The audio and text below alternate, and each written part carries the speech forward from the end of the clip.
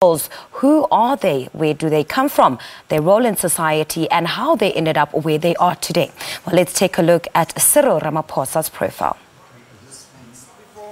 Matamela Cyril Ramaphosa was born in Soweto, Johannesburg. He matriculated at Mphaphuli High School in Sibasa Venda. He studied law at University of the North and upon completion received B.Proc degree from UNISA. As a student, he joined SASCO, the South African Student Organization, and the BPC, Black People's Convention. He was detained for his involvement in organizing Pro Frelimo Morales. He was held in solitary confinement for 11 months. He was detained again, held for six months. During this time, he began to question his role in the BPC, deciding that ideology of black consciousness had become full circle. It could take us no further. He joined the firm of attorneys as an article clerk. Ramaphosa completed a B B.Proc at UNISA and joined the Council of Unions of South Africa as a legal advisor. And it was in this position until 1991 where CUSA advised him to establish the Union of Mine Workers. He was arrested and briefly detained under the now defunct Riotous Assemblies Act in Lebowa. He left CUSA helping to form the Congress of the South African Trade Unions, COSATU.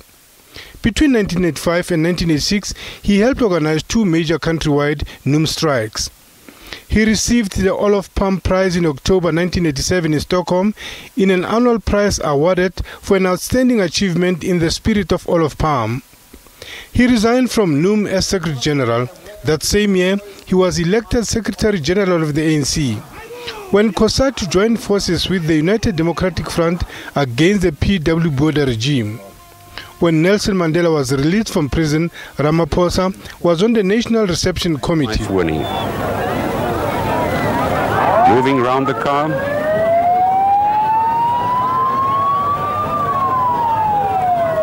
He became Secretary General of the ANC from 1991 to 1994. In his capacity as a General Secretary, he became the head of the negotiations commissions of the ANC and participated in the Conference for Democratic South Africa, CODESA. And also ensuring that you end up with a democratic result. On May 24, Ramaphosa was elected chairperson of the Constitutional Assembly, member of parliament between 1994 and 96. After Thabo Mbeki was chosen as president to succeed Mandela, Ramaphosa decided to leave politics and enter the business world. Comrade Ramaphosa will resign his position as a member of parliament once the constitution writing process is completed. His position as member of the National Executive Committee and Secretary General of the ANC remains unchanged. On behalf of the entire National Executive Committee of the ANC, I wish to take this opportunity to commend my comrade and colleague, Cyril Ramaphosa, for the important contribution he has made in building our organization, the ANC, in the nation building effort, and in the broader task of reconstruction and development.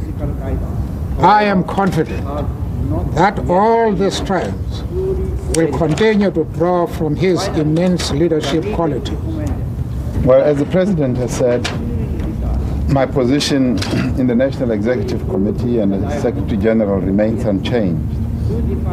No doubt these matters are going to be discussed further and we will have to work out exactly uh, what type of involvement I continue to have in the organization itself as an official of the organization and also what role and time I also give uh, in the private sector. So that will still be discussed uh, in further detail later. Ramaphosa was a special envoy to observe the conflict between Palestinians and Israel following Israel's armed occupation of cities controlled by the Palestinian National Authority. He was appointed chairperson of the Johnnic Holdings Limited. He became a member of the National Executive Committee, a position he held until today. He was an advisor for the Government National Planning Commission. Ramaphosa's name was prominent on the second day of the Marikana Judicial Commission. In an email in which Ramaphosa strongly condemned the protests, described them as criminal acts, and suggested concomitant action. Cyril Ramaphosa was accused of having had an influence on the events which led to the Marikana shootings on 16 August 2012. Ramaphosa agreed to testify after calls were made for him either to apologize or to account for his part in the shooting.